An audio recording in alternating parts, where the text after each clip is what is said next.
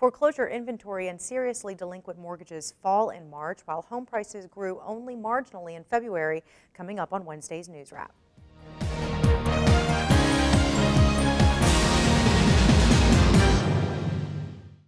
CoreLogic's latest national foreclosure report for March found that foreclosure inventory is down 5.1% from February. The percentage of homes seriously delinquent on their mortgage fell to 4.7%, the first time the rate has been this low since October 2008.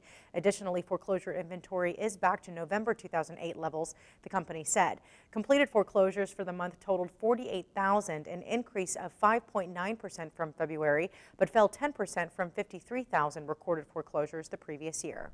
Nationally, the inventory of homes in foreclosure is down 3.1% from February. March's inventory reflects a yearly drop of 37% from 1.1 million homes in foreclosure in March 2013 to 720,000 as of March 2014.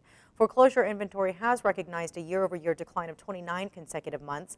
States with the highest foreclosure inventory as a percentage of mortgaged homes include New Jersey, Florida, New York, Maine, and Hawaii.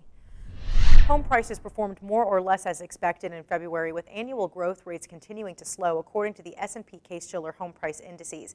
Considered one of the preeminent measures among home price indicators, the indices showed prices among 20 of the nation's biggest markets grew 0.8% on a seasonally adjusted basis in February, matching January's rate of growth.